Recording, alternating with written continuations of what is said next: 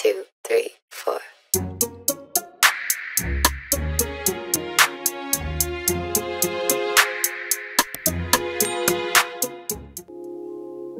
Hey guys, so I know I'm stretching like it's 5 or 6 a.m. It's not.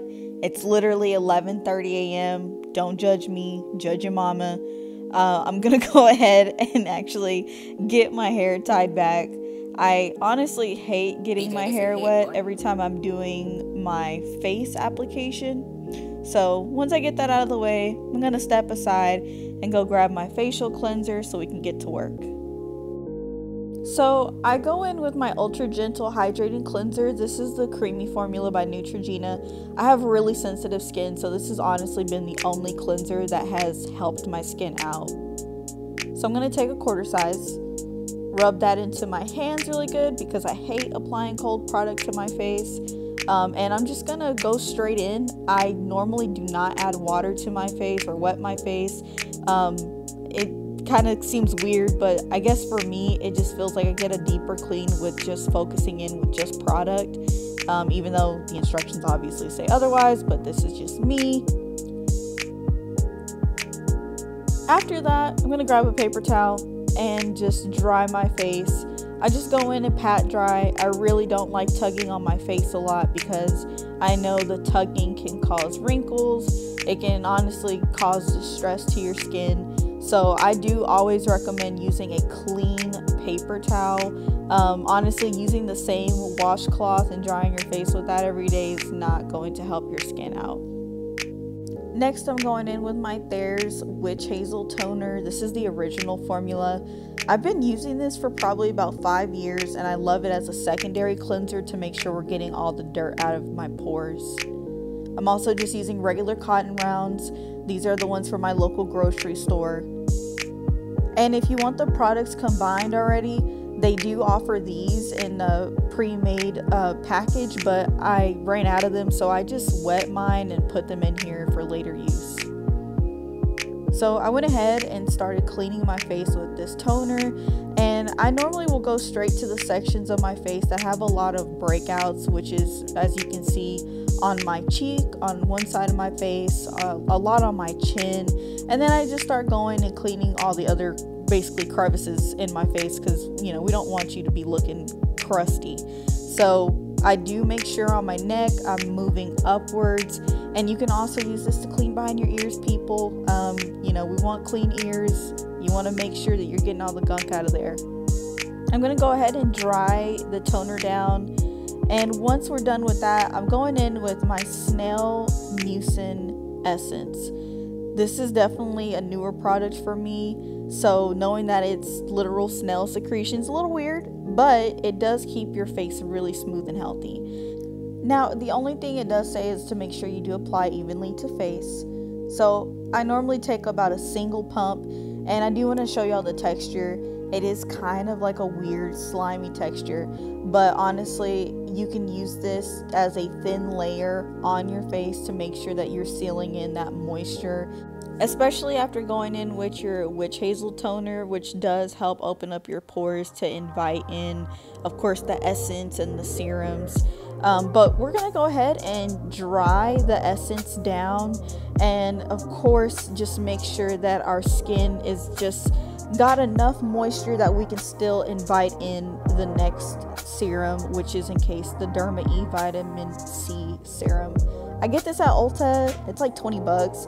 But honestly, every time that I get it, it is a great purchase. It probably lasts about three months. And I'm to go ahead and just put it directly on my face. Um, I'm not really a big fan of like putting everything into my hands. I just want to make sure that I'm being conscious about how much product I'm using. And sometimes product can get absorbed into your hands, which can cause you to end up using more product. So I normally will just go ahead and just start pressing it into my face after putting it on and just drying it down. And if you are somebody that wants to get one of these fans, I got this one at Dollar Tree, but they do sell them at Claire's.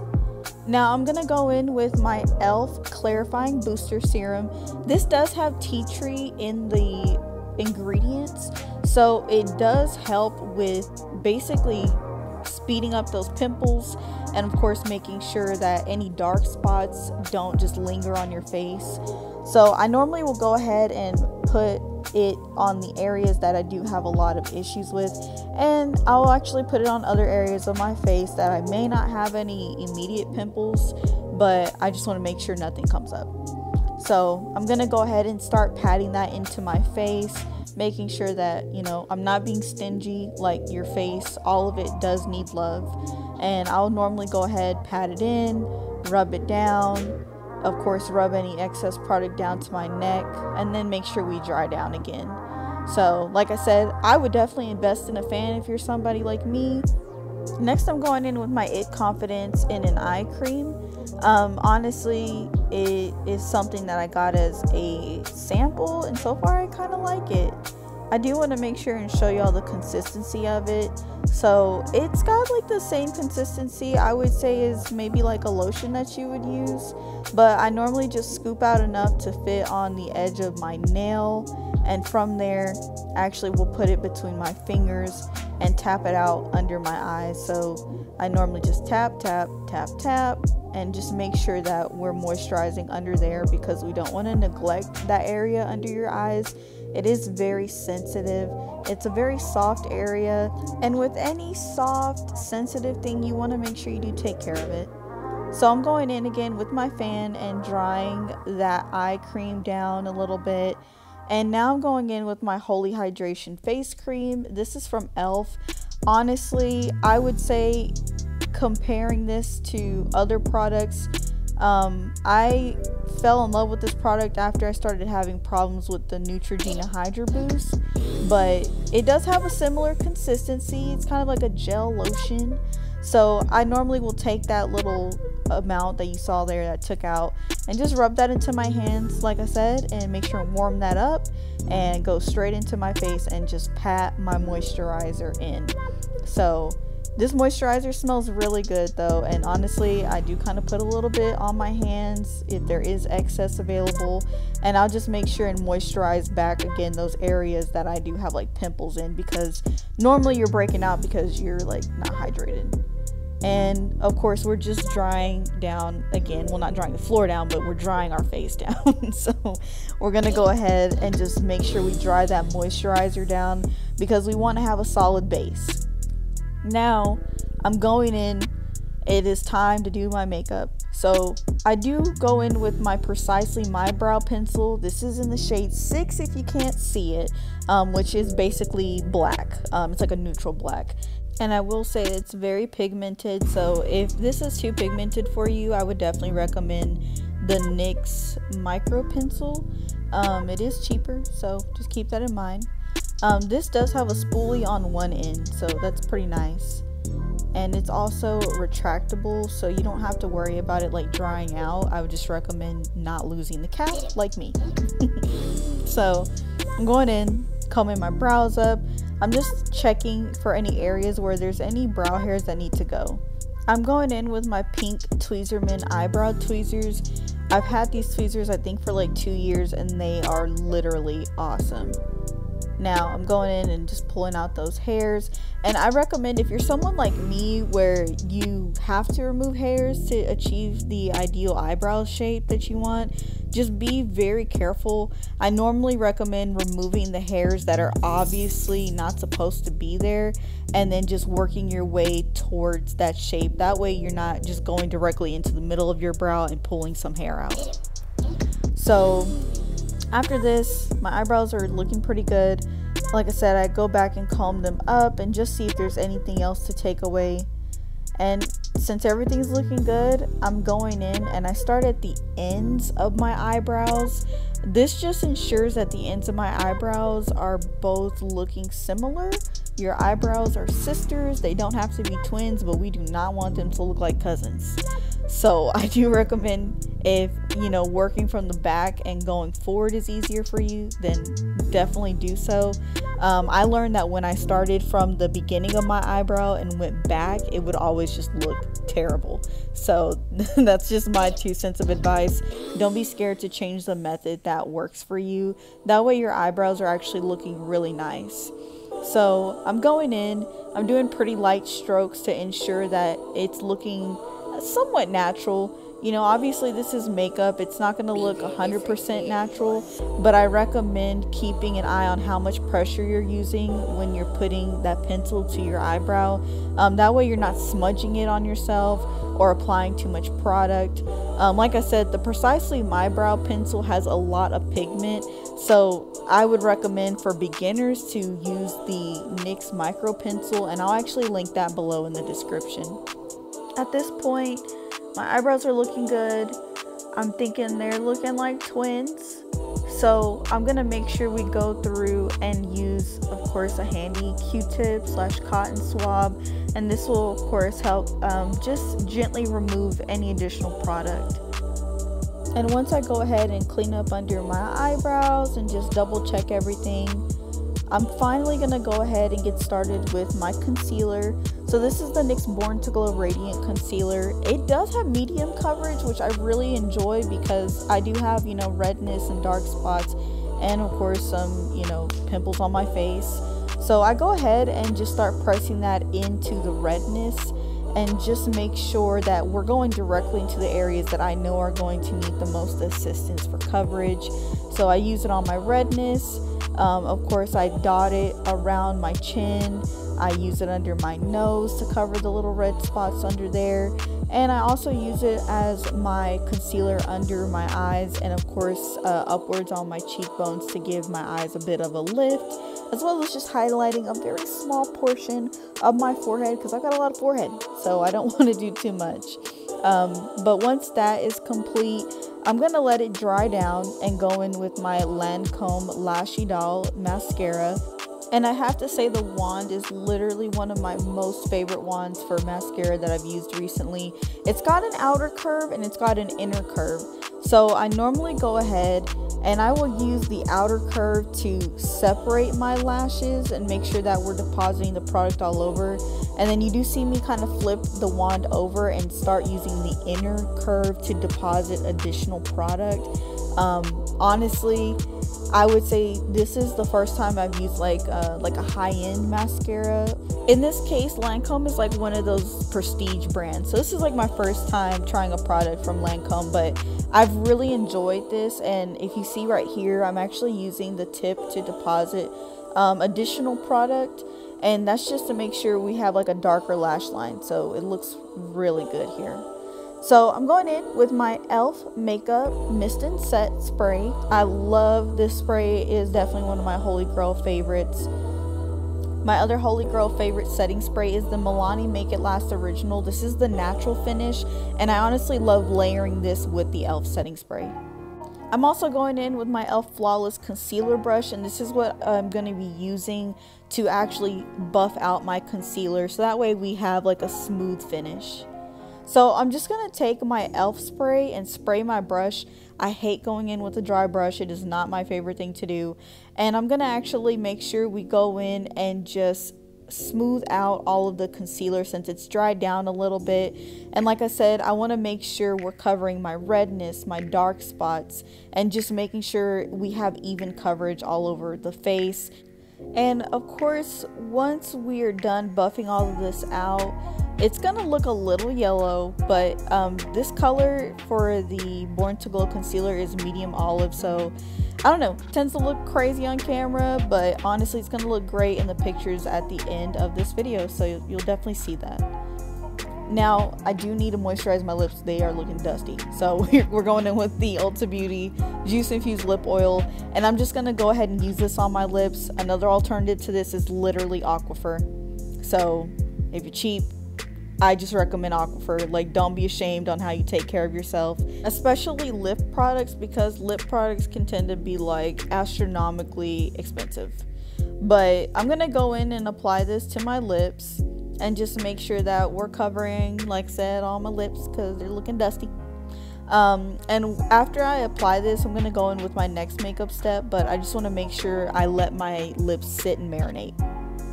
So while that's going on, I'm going to go ahead and go in with my Coty Airspun Loose Face Powder. You can literally get this at Walmart. And this is the translucent shade.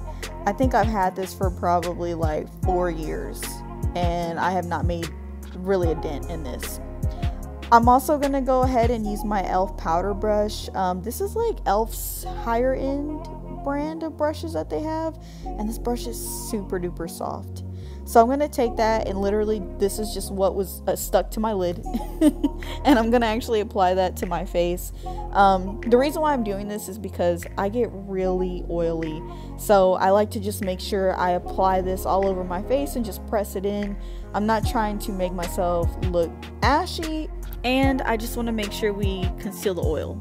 But I'm going to go back with a paper towel and I'm going to go ahead and press that in between my lips to make sure we take off that lip oil. That way my lips, since they are hydrated, can be lined with my lip pencil that I'll be using. So I'm going to go in with my MAC Cork lip pencil I'm going to tell you now if you do not have this lip pencil, this is probably one of the nicest brown pencils, like universally.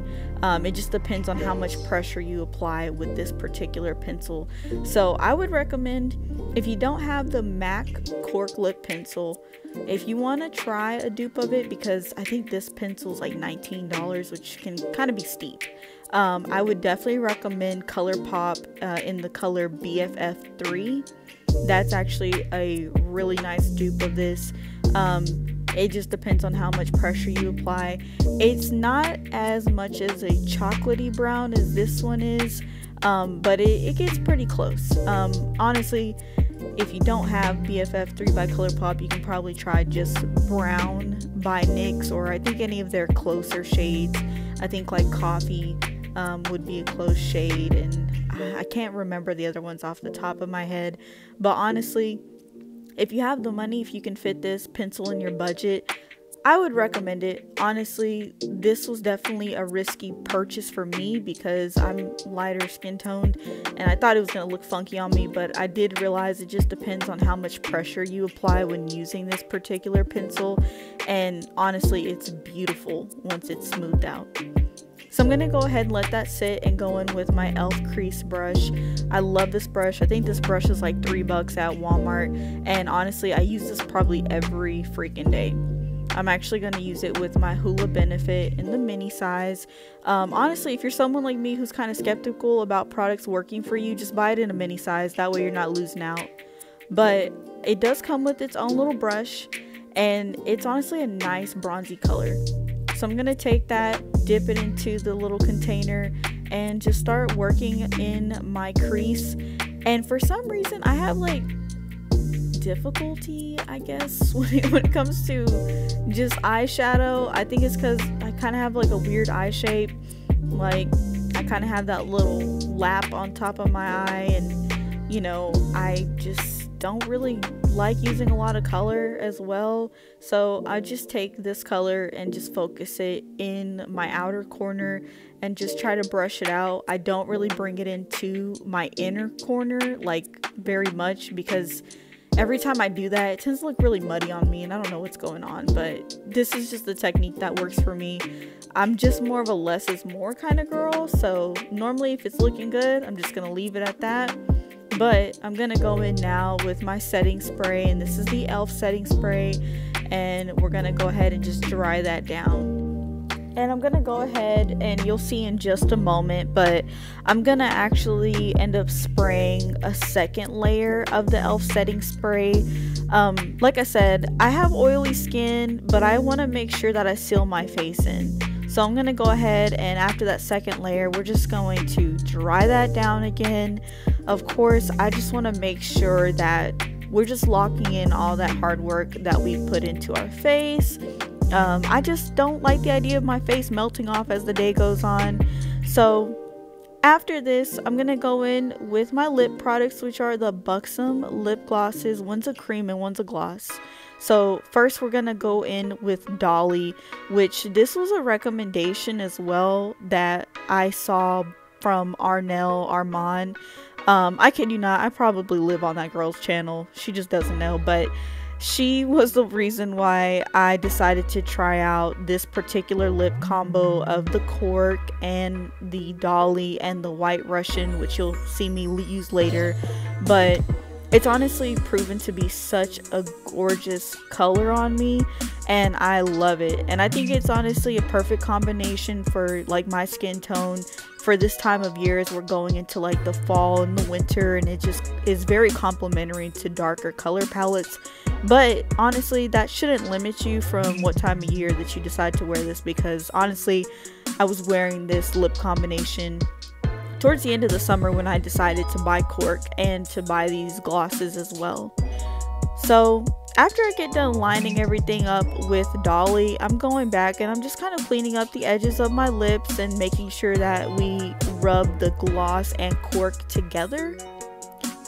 After that, I'm going in with White Russian. This is actually a lip cream by Buxom, but it honestly blends beautifully with the lip gloss. So after I put it on the center of my bottom lip, I just go through and make sure and rub it in. And if everything's looking good, I'll just go straight in and start working on my contour on my nose. Um, I don't necessarily have a big nose, honestly, but I just love the look that I get from this. Like my nose looks more defined and it just looks so cute, um, which I thoroughly enjoy. Also, I'm going in on the sides of my face and brushing up with my bronzer. I'm using the brush that the Hoola bronzer came with. And I would honestly recommend if you are someone that applies your bronzer, apply it uh, sweeping upwards. It just looks better and it doesn't drag your face down. So I'm also going in and just applying a little bit to the sides of my face. You know, I'm not doing anything crazy. We're not doing like, you know, back in 2016 where we were kind of deeply contouring. I'm just more so adding warmth to my face and just a touch of definition. Also, I like to make sure and add the bronzer to my forehead. Uh, your girl's got a big forehead. Okay, we can see that. You saw that at the beginning of the video uh, when I pulled my hair back. So we just want to make sure and apply the warmth up there as well as on my neck. Um, I think that's something that we definitely don't want to forget is making sure your makeup goes down to your neck, but I'm looking pretty good.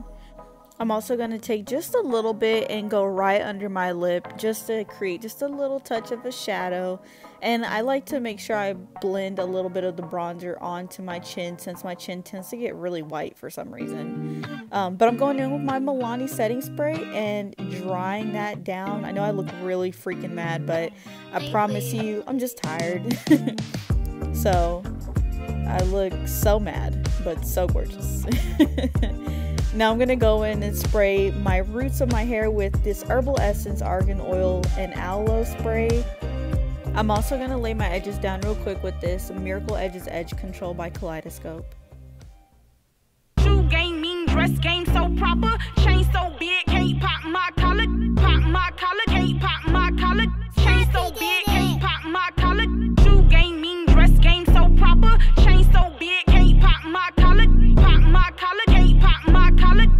fuck she thinks she is. Somebody stop her.